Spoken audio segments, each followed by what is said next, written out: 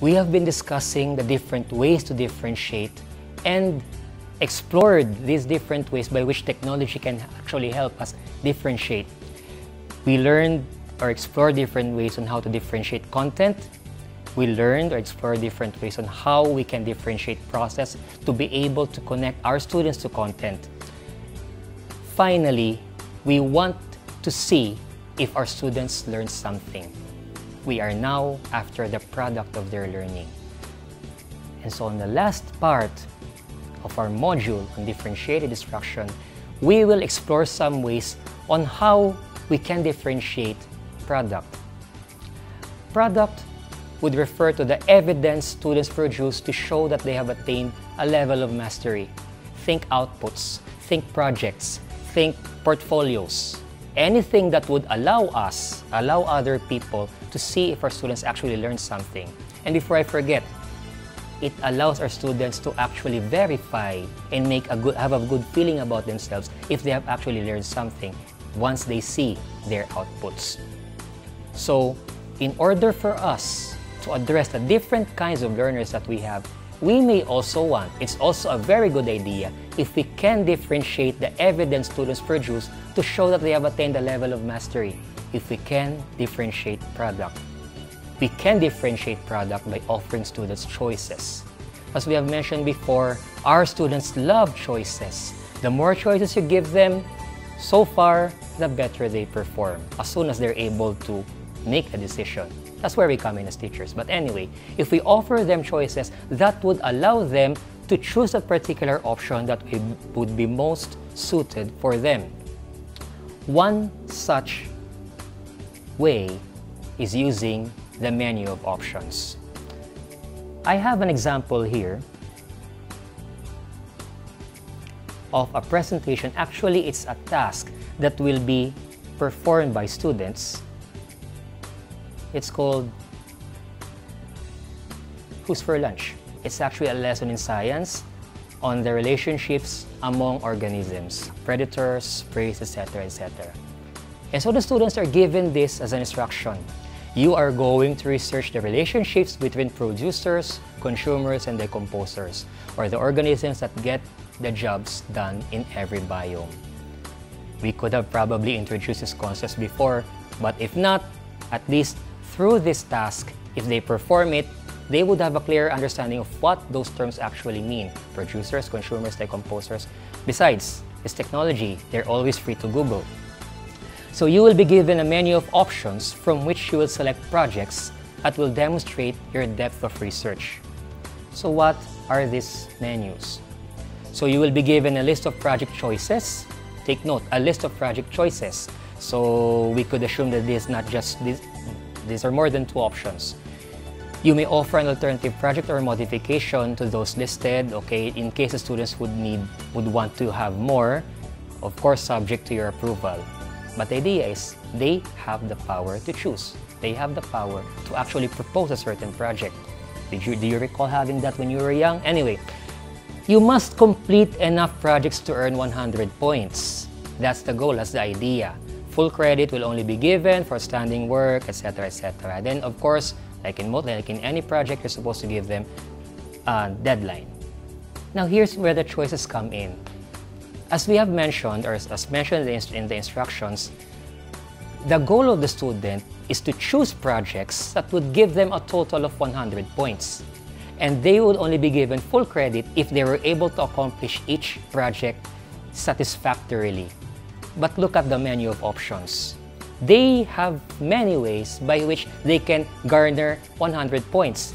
They can either choose the first tasks with 10 points each, the one below, and then just choose a 20-point task and a 30-point task. If the students would want to have more tasks, but for those students who want challenge, and there would be some students who would want that, they would want challenge as soon as they start with a project, they would probably go and they have the choice to go for the 50 point and the 50 point project, thus enabling them to finish the project at an earlier time. And so a teacher might ask, so the students would probably have mediocre outputs. If they're in a hurry, they would just use the 50 point and then another 50 point project. But remember, they were given the instruction that they would only be given full credit if they accomplish the project satisfactorily. But aside from that, they are free to choose. Let's take some examples. Suppose I'm a student and I'm not really that confident yet, so I would choose the 10-point project. So the 10-point project is this. Create three help wanted job applications for new jobs, one for each type of organism. Be sure to ask for as many traits as possible for each job type. So for example, a wanted producer. And so the students would enumerate the descriptions of the producer. If the student is able to accomplish this, okay, the student earns 10 points. But if not, no worries. The student can always choose another project to make up for this. So you might say, this might entail some time. It's okay. We give them enough time.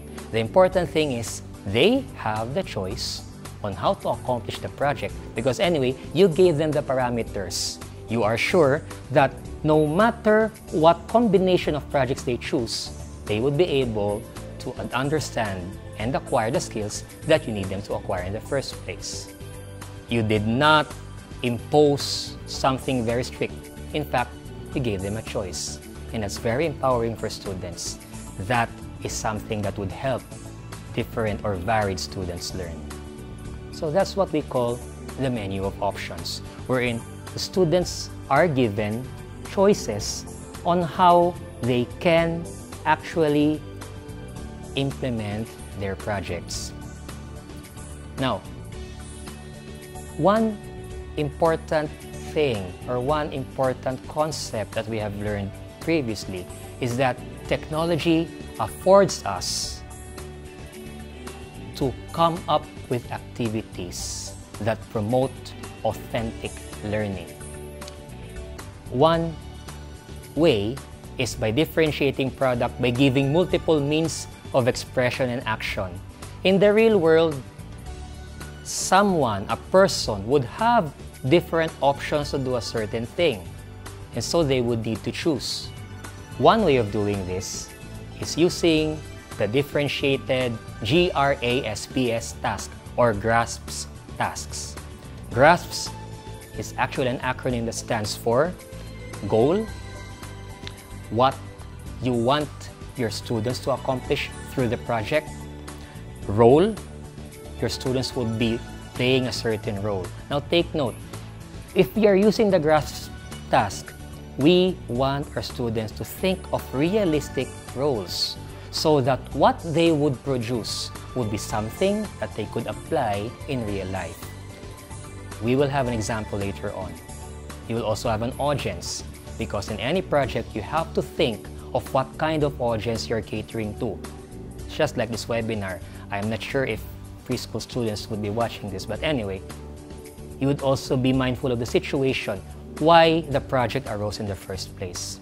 And of course, you have to be clear on what the product would be, and you have to be clear on the different standards. Take note, there could be different products, but there is always a specific standard or a specific set of standards by which we have to evaluate the outputs of our students. Let's have this as an example. Okay. So this one is a project in ICT for high school students. The goal is to promote digital citizenship. Now, digital citizenship is actually a concept that applies for most of us who are using digital technology. Now, what is the role of the one making the project? The student would play the role of being a member of a group advocating social awareness online. Uh, this is actually a fictitious group. You can replace it with any name of a group, but to make it more realistic, that's the idea, we give a name for the group. Of course, our project should have an audience, and so the audience of this project, the ones who would likely critique the project, would be Facebook users. The situation is described in detail. Most, if not all, Filipinos have FB accounts which they access almost all day, and so on and so forth. And the product is something specific as well a social networking site page or a Facebook page. What's lacking here are the standards it's specified in a separate section. I would just like us to have an idea on how we can actually come up with a project that follows the GRASPS format. But we do not give this format to our students. So after composing the words, after defining the goal, the role, audience, situation, product, and defining the standards, we actually package it, paraphrase it in such a way as if we are giving our students a specific task. Since most if not all Filipinos have FB accounts which they access almost all day, checking for updates, sharing, liking online posts, social media platforms can be utilized to promote good values online. As members of ERAST, a group advocating social awareness online, you want to promote good digital citizenship and so you must create a Facebook page to accomplish this goal. And these are the standards. It must be well maintained to ensure relevance of its contents and must reach a sufficient number of Facebook users within one week. Of course, you may need to provide a certain set of rubrics so that the project would be more easy to evaluate. so there you have it. We can differentiate product by offering them choices and by giving multiple means of expression and action. So the three ways to differentiate would be demonstrated in this lesson that I'm developing. Allow me to show you this lesson that's currently being developed before I submit this to my boss. This one is a lesson for grade 11 students on, you had it right, digital citizenship for their ICT subject. This one was made using the Genyo Learning Management System and hopefully I would be able to demonstrate the different ways to, different, to differentiate, differentiating content, differentiating process, and differentiating product. So let's start our lesson right here. Okay. This one will try to implement a flipped classroom. This video would be part of an announcement. Okay, let's have it right there. Okay. So this would be given to the students before they actually come to class. It would be something that would introduce, it would be an announcement to introduce a forum that the students would be participating in, but they will have, they would need to watch this video first. If this video would play. Now, one thing about videos in class, sometimes the connectivity is not that good, and so you will end up with a spinning wheel somewhere in the middle. What's good about this is if we assign it, then the students will have more leeway on when and where they want to watch it. Most probably, they would have better connectivity at home, so they would be able to watch this. And so after watching this, they would now be led to this to this next part. So this would be another video. Actually, it's another video that will discuss the concept of what a digital footprint is.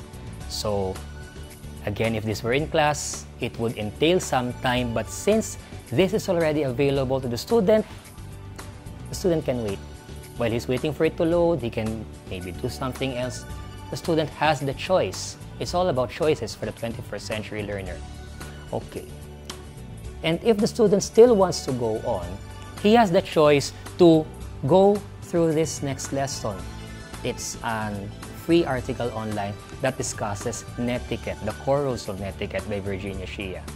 And then, after going through all these, take note, they are not even in the classroom yet, but you have already given them the choice, the opportunity to go about content before they actually participate in the forum, which says or which requires them to think of one significant insight that they got after watching the video and reading the signed articles, and they are to post this insight in the form of a hugot line.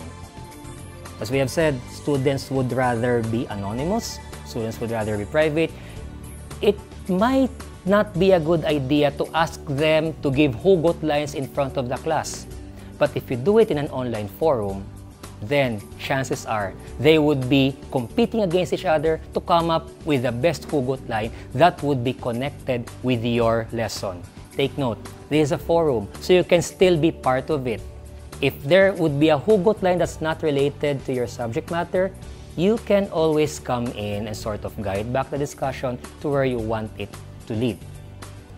After doing this, this is the only time that we would be going to the classroom. They have already participated in the forum. They have already watched the content, the resources that you want them to access. This is the activity that they would be doing in the classroom if they had not accessed this at home. If they had accessed it at home, better. At least they already have an idea. You're going to give them an input on the different elements of digital citizenship. After which, you will now be ready to assign them their project or their output or their product. As we have said earlier, it's important that our students have choices when it comes to making their product. So in this case, they have three options. They will have an output, they will be making an output promoting digital citizenship, but they have three choices. The first would be an infographic or poster in JPEG format, probably for one person. Some students would rather do it individually, but there are other students who would want to do it by teams. So they might consider doing option B, a 30 to 60 second infomercial. Or for those who are more musically inclined, the more kinesthetic or more artistic probably, they would rather or they would prefer composing a 30 to 60 second jingle promoting digital citizenship. You give them an option, of course, whether they do it in Tagalog or in English. Or maybe if you're in a Chinese school, they have the option to do it in Chinese. If you're in a Visayan school, maybe they have the option to do it in Hiligaynon or whatever. It's all about making them choices as long as it is related to the content that you want them to master. Now, this can be done individually or by twos or by threes. Now, after this is done, you will share your post, your, uh, your, you will share your output via social media and post the link URL as a text response to this assignment. So this is where the collaboration comes in. Aside from being group mates, even those who decided to make an infographic would end up collaborating with each other, with other people, with other classmates because they would be posting this online, looking for critics on what they actually did. And so, with this output that's under construction, we were able to differentiate content, we were able to differentiate process, and we were able to differentiate product that would hopefully cater to the different kinds variations of students that are in your classroom. Remember, the goal of any teacher is to make his or her students learn. All students can learn, not just on the same day and probably not in the same way. But the bottom line is all students can learn. And as teachers, using technology, using techniques in differentiated instruction, we can assure that all students would learn in our classroom. Thank you.